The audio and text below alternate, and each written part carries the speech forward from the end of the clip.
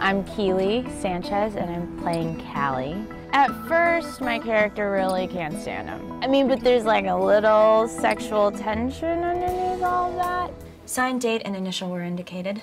What am I signing? You're releasing the medical center from any kind of liability should you lose your hand or die from infection due to my incompetence. I'm not signing this.